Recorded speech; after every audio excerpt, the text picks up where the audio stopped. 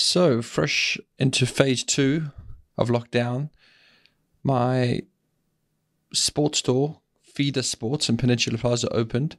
And I went there with those green shoes in the middle to replace the shoelaces because they're broken, that sort of power ankle knot configuration that I've been using while running. And he pointed out that these green shoes in the middle, my main pair, were worn out.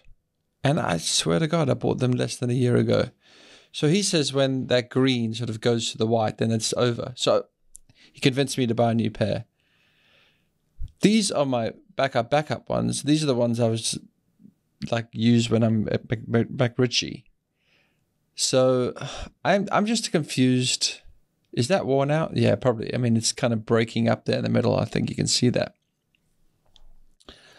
It's just that the green ones, I did honestly think there were some many months left in it. Maybe it's because I'm running on tarmac. Because when I'm running on tarmac, I I am a little bit lazy sometimes, and I go you know skid a little bit, a bit sloppy. So I'm curious to see. I wonder how well my new pair will do. So the new pair is the uh, 21, I believe. The green is the 20. The orange is the 19.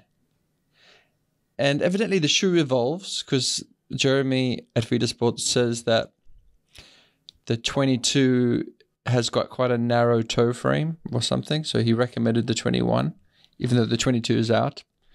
So yeah, I'm going, I'm getting a new Asics Nimbus shoe every generation so far. Huh.